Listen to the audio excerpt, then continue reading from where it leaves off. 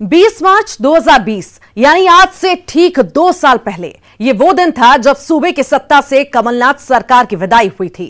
अंदरूनी कलह और गुटबाजी, ये वो फैक्टर थे जिनकी वजह से कांग्रेस जनमत मिलने के बावजूद पाँच साल सत्ता नहीं चला पाई। अगले साल फिर चुनाव होने हैं। लेकिन आज भी सवाल यही है कि क्या कांग्रेस को 2020 से सबक मिला?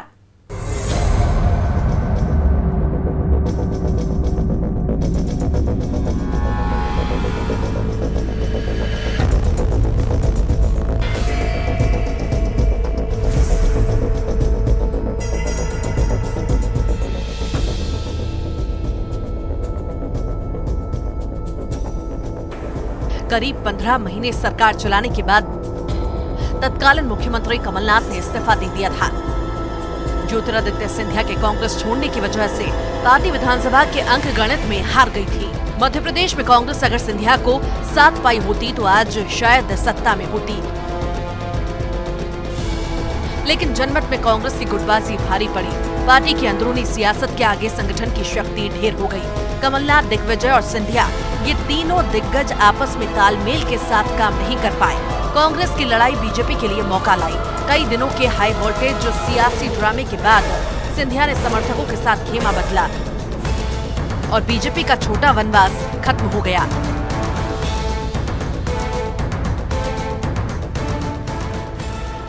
अगले साल फिर चुनाव है।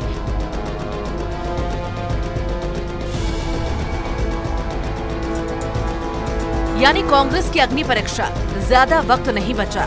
मौजूदा हालात पर नज़र डालें तो आज भी कांग्रेस में ऐसे नेताओं की कमी नहीं, जो वक्त बेवक्त आँख दिखाते रहते हैं।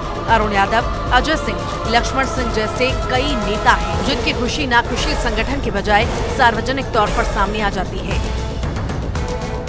कमलनाथ और दिग्विजय सिंह के बीच दरार की खबरें भी सुर्खियों में रही हैं। इसी बजट सत्र के दौरान पार्टी लाइन से बाहर जाकर जीतू पटवारी ने राज्यपाल के अभिभाषण का बहिष्कार कर दिया था।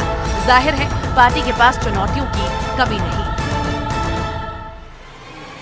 पे कोई नेता नहीं है और कमलनाथ जी के नेतृत्व में कांग्रेस पूरी एकजुट है और अपने अपने इलाकों क्षेत्रों में पूरी मजबूती काम कर रहे हैं और 2023 में सबके सहयोग से एक बार फिर कमलनाथ जी के नेतृत्व में कांग्रेस की सरकार बनेगी। आज जनता बेहाल है।